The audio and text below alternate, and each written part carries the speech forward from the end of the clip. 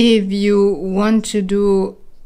her outfit a little bit more Halloween like and less stylish, you can also add some Halloween stickers like the ones you see here on her skirt